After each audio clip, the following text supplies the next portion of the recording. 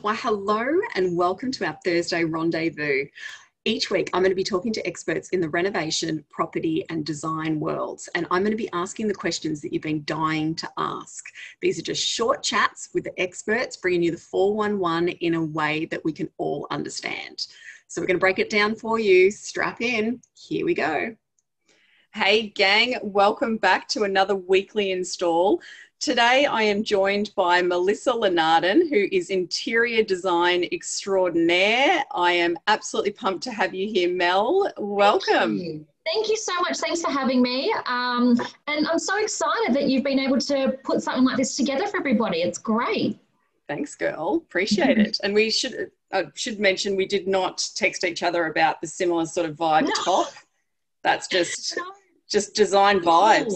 Yeah, yeah, absolutely. exactly.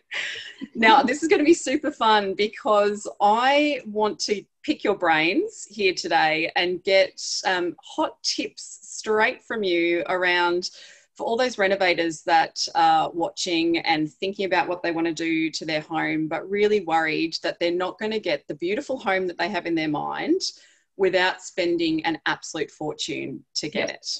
So yeah. I really want to get your um, guidance around what people should think about when they're uh, looking at designing their home without mm-hmm. breaking the bank. Mm-hmm. And then I want to go on a bit of a virtual home tour with you and have a bit of fun as we walk through just the general rooms or zones of a home and get your hot tips around what people should think about when they're planning those spaces and particularly you know where to splurge and where to save the money so yeah. sounds so great. Let's get right into it and just get your kind of off the bat key thoughts around designing a beautiful home. Sure. So I think um, before any sort of you know hammers get thrown into walls or anything like that, it's um, really important to understand your budget um, and, and how much you can actually afford. Um, the second thing would be is to really understand what it is that you want from your home. How do you and your family um, use your home currently? And spend money in those areas that are really important to you. Whether you know you love cooking, and that is something that you love to you know entertain you know focus on those areas um, if you you know work from home for example and you need a great setup with lots of storage you know make that an important thing um, I find lots of people get really caught up in the trends or what you're seeing online, um, on the blog, on Pinterest. That doesn't necessarily work for, for you uh, as, as your own homeowner. Um, it may look great, but it's not going to be functional, and you're going to be wasting money um, in those areas that you know you think they look you know really beautiful, and you think that's important, but really it's not going to serve you and your family in the long run. So I think getting really clear about what it is that you need from your home and how you want to feel as well when you walk inside our homes. Um, this year has been so important in the fact that home has been a safe haven for us. And I think we need to continue on with that and really hone in on um, what makes us feel safe and cozy at home um, and how we want to feel. You know, whether it's a relaxed sense, whether we want to feel joyous and happy. Um, you know, those are the things that is really, really important before you know, we even start looking online or start shopping or, you know, start demoing walls. Mm. Oh, absolutely. I mean, that's the first thing, and I've even put that in my um, copy on my website. It's just before you start getting into Pinterest and going down that rabbit hole, just getting really clear around you know, that's where you can go for the inspo once you know what you're yeah. wanting to achieve. So, yeah. you know, people can get so overwhelmed by what they're seeing and feeling like that's unachievable, but that might not be necessarily, as you say, what you want or what you need. So, yeah, really understanding the the, the feeling um, and the yeah the purpose of, of certain spaces is, is absolutely key. Yeah, Great sure. advice straight off the bat there. All right, let's go on a tour, girl. Let's wander yeah. around the house and awesome. start let's with. Go. So they say kitchens sell houses. So mm-hmm. how do you create a beautiful kitchen without breaking the bank? Sure. So I would really um, understand on how you want to use the space. I think an area to really splurge, I guess, is getting that layout right, making sure you have enough storage, you have enough bench space yeah. Some people I know, you know, if they want that Carrara marble bench top, um, it can be quite expensive, but they will shorten their bench tops, they'll shorten their cabinetry just to make sure that they buy that one slab. That's a great way to stretch the dollar, but really, are you going to get more benefit out of a beautiful Carrara bench top or, you know, lacking in storage down the track? Yep. So just being really, really smart about that and getting that layout right, having enough bench space, um, and then also splurging on things like um, quality cabinetry, so all your joinery, making sure um, it's going to stand the test of time. Yep. Um, you know, a few people do say, you know, later on you can change the door fronts, but that can be quite tricky. And some cabinet makers actually don't like uh, replacing doors on carcasses that they haven't made.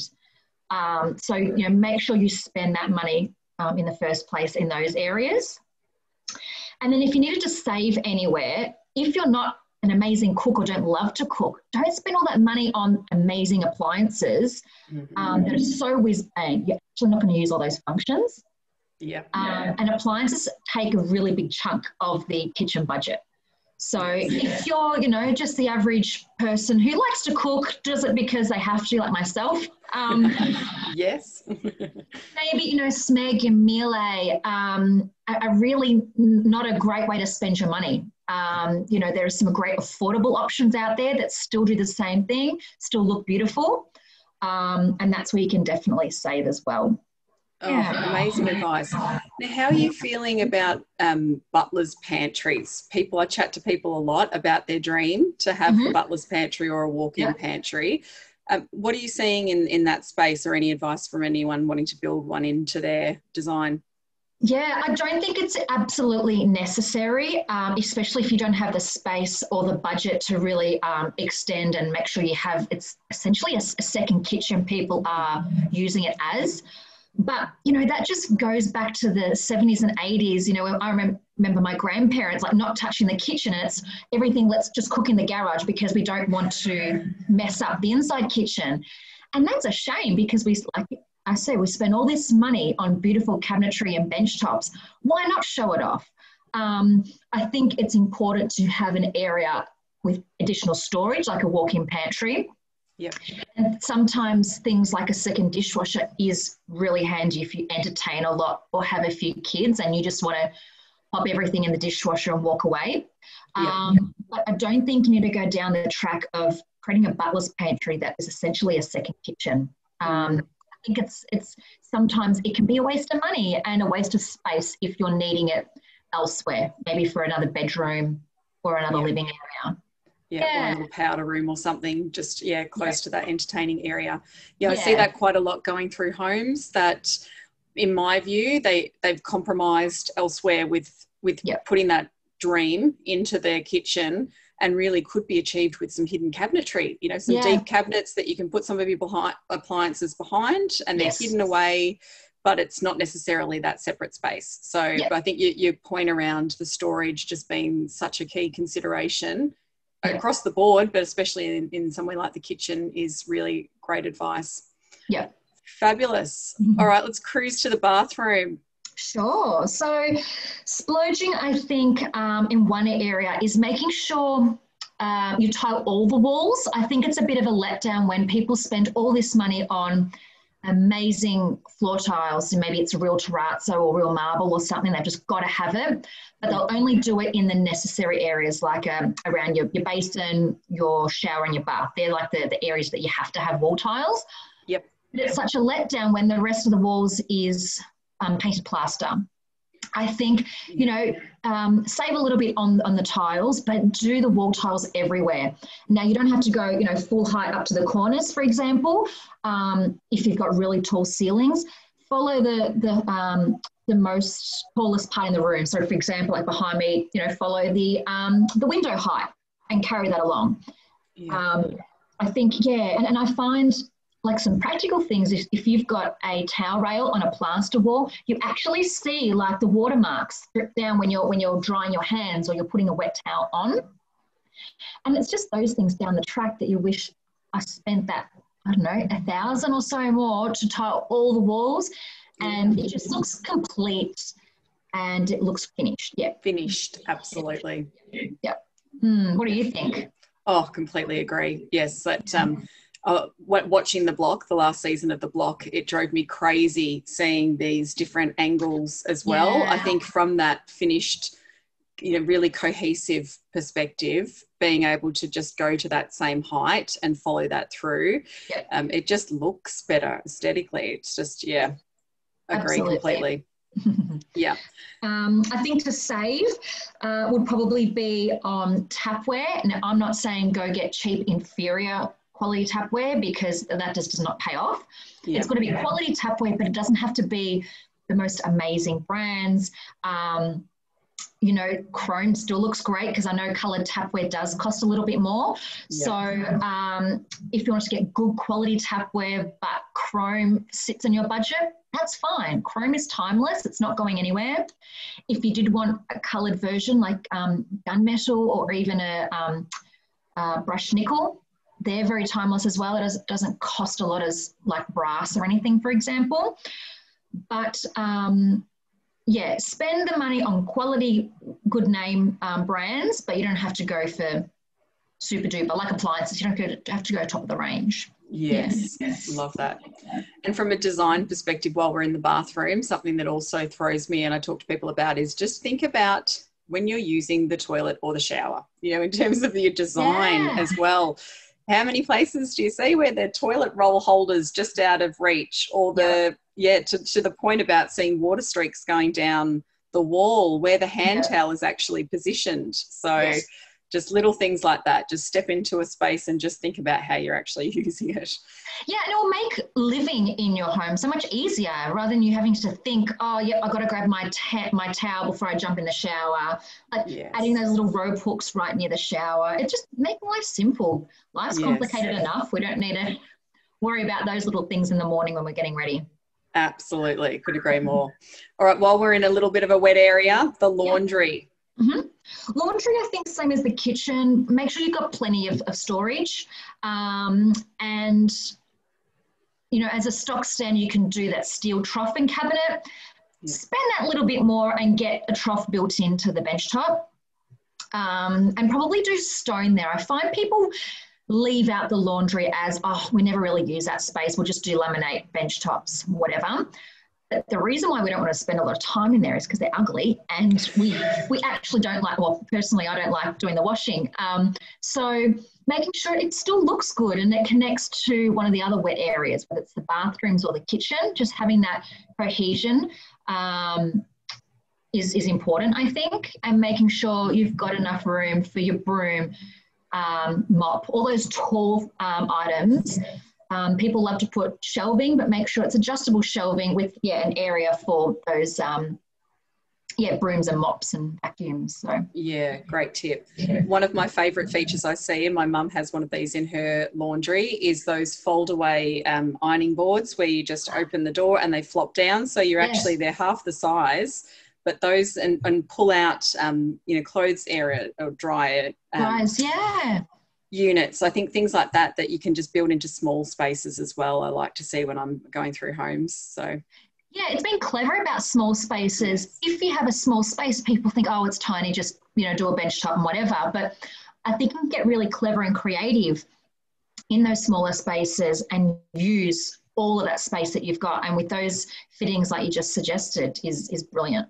Yeah, fantastic. All right, the living room. Mm-hmm. Um, I would say uh, probably built-in cabinetry. Sometimes this can push people's budgets, and one area to rule out when you're looking at your building contract, for example, is joinery because you can do that later on.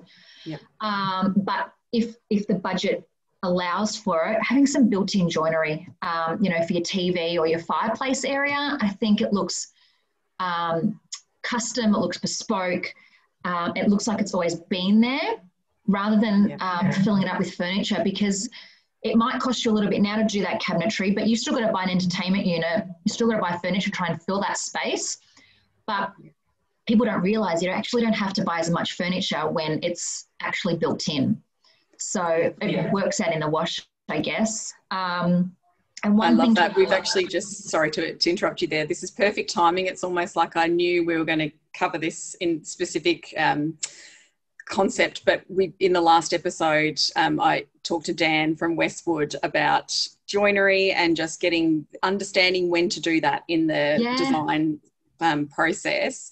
And I am in agreement. But it can be one of those things you can get in there, and it's great to be able to feel the space and see. Actually, do you know what? Floor to ceiling, either side of the fireplace, custom Yeah. joinery is going to look gorgeous, and is actually going to end up being that feature in that Yeah. in that zone. So yeah, Absolutely, it's the, the it's the area that you're going to see the most, um, and you're going to get bonus storage out of it. So um, why not?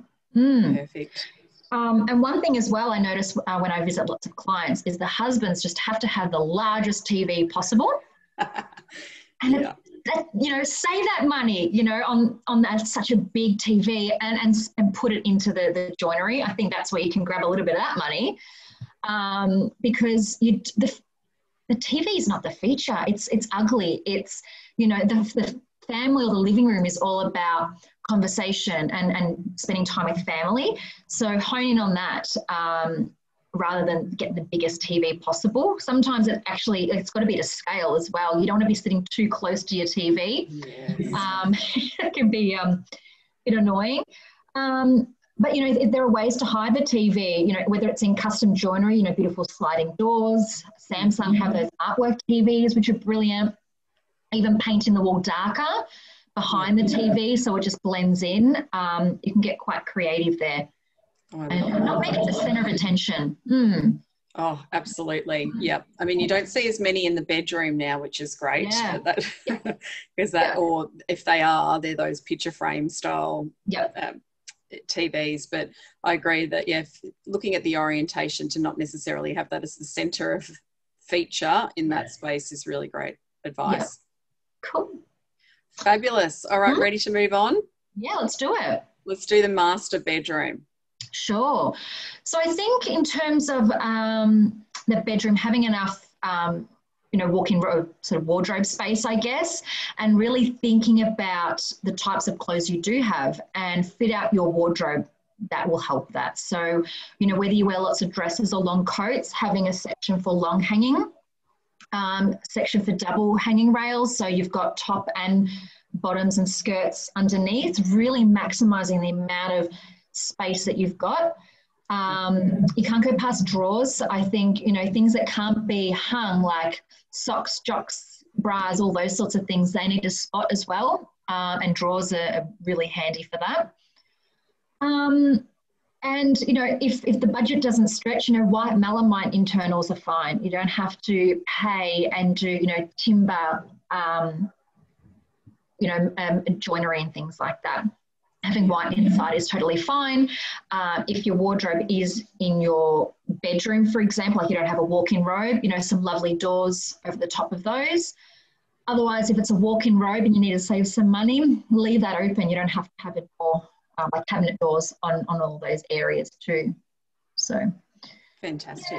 yeah, yeah, even things like carpet, um, that's probably one area that you could save because carpet is easier to replace over time, especially if you've got young kids or pets and you don't want to be worrying about them trashing it.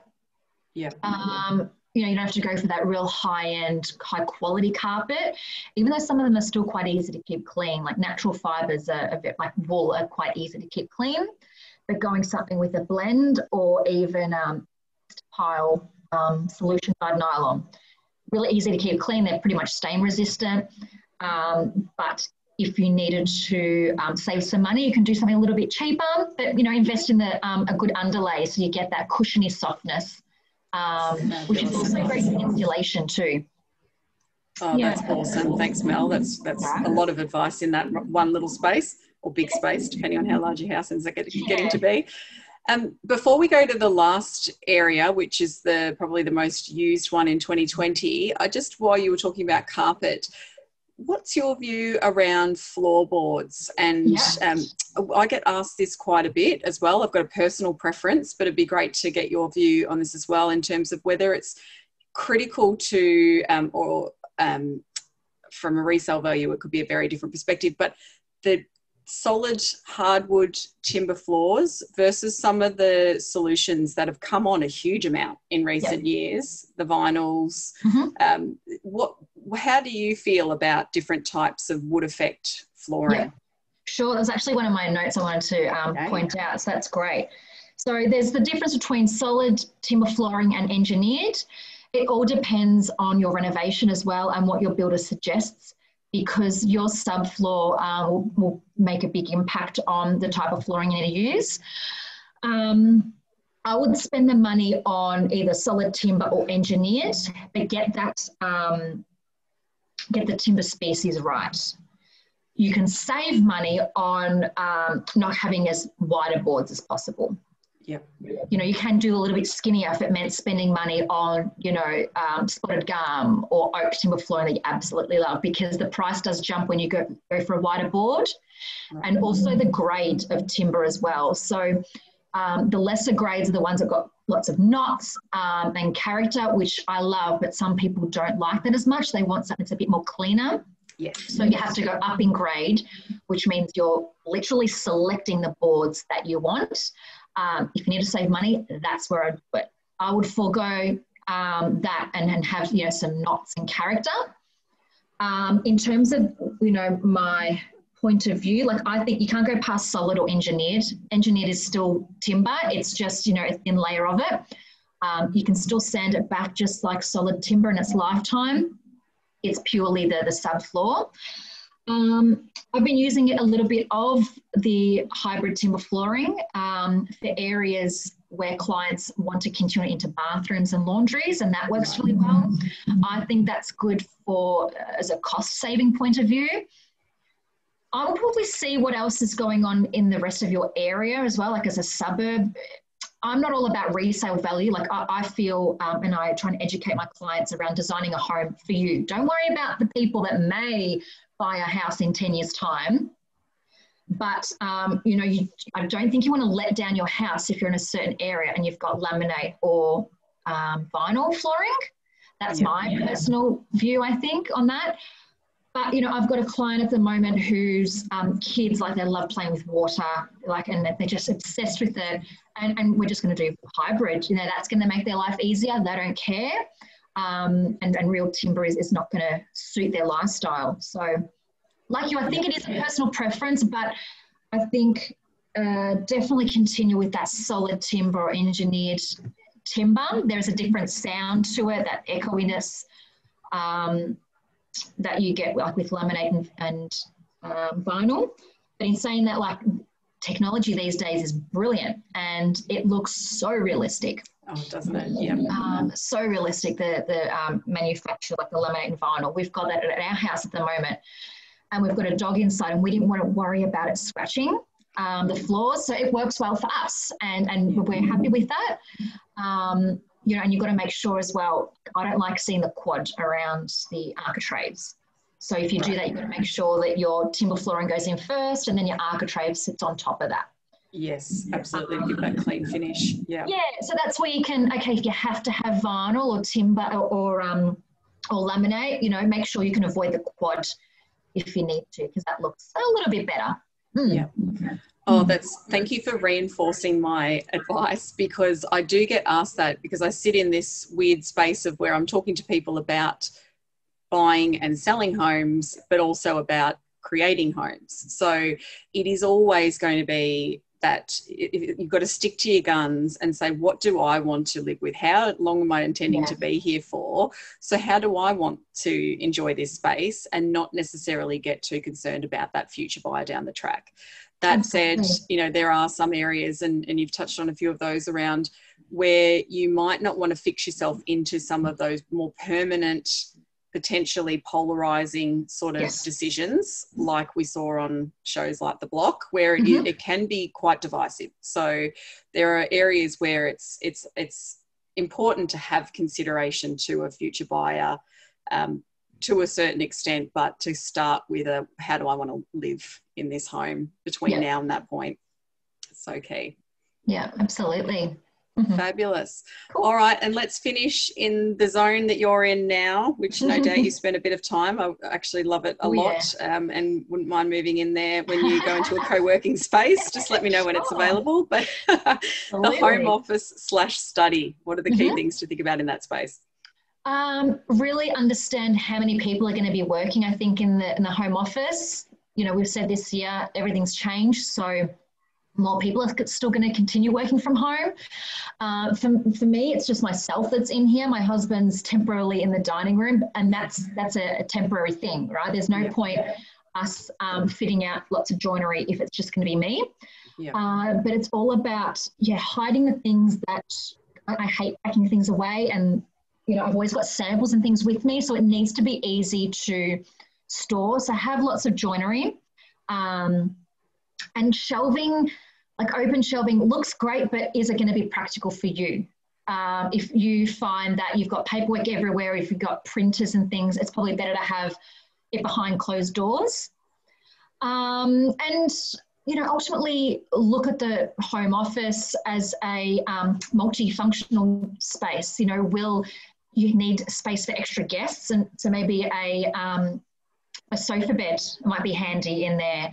Uh, maybe it's like a secondary living area. Um, I use this as um, like another living area when I don't know, my husband's watching the footy or something and I don't want to go to, to my bedroom, you know, at least I can come here and chill out. Um, and, you know, it doesn't feel like my office. Yeah. Um, it's, you know, it feels like a secondary lounge if we need it to be. So I think get, um, yeah, really clear on how you want to use it um, because uh, bedrooms, you know, it's pretty much a, another bedroom, um, the, the home office. So how can we make use of it rather than foregoing um, an actual another bedroom, I guess? Oh, great advice. And think about your PowerPoints and your light oh, yeah. switches as well. Hey, like that's absolutely nothing drives me more crazy than when I look at it and I go, where? Why did someone not think that there was going to need to yes. be a laptop? Yes, plugged in here. So yeah, you can never have enough, and you know, have them at table height as well. Yeah. Um, you know, rather than than underneath. So you can never have any, um, too many PowerPoints. Same with the bathrooms and the kitchen. Um, you know, you can be really smart around where they go. Um, if you do lots of, I know, sorry, we've covered the kitchen. But, um, you know, if you love to cook and you've got lots of small appliances, having some extra PowerPoints on the island bench or the, you know, the pop-up PowerPoints, they're really handy too. So yeah, fantastic. And similarly in the bedroom, of course, with the bedside table positioning and where you yep. want the light switches to be and you've seen a lot of those USB um, plugins now as yeah. well. So yeah, yep. yeah, thinking about Absolutely. power sources and lighting sources is really key. So, mm. and you don't have to upgrade them. Sorry, you don't have to um, upgrade them everywhere because that can be quite expensive. You know, there are some beautiful flush um, looking power points or light switches, and, and just have them on the areas that you can see. And the ones behind, you know, underneath tables or beds and things can just be the standard. Yeah. Um, so, you know, that's where you can splurge and, and save, I guess. Yeah, fantastic. Mm-hmm. This has been so much fun. I've loved Yay. our home tour. Thank you yeah. so much, Mel. Thank you. That was really good. I hope that um, you know a few people can gain some little tips from there. So no yeah. doubt, no doubt at all. All right. Well, thanks for your time. Thank you. We'll catch all you later. Right. See you, chick. Bye. Bye.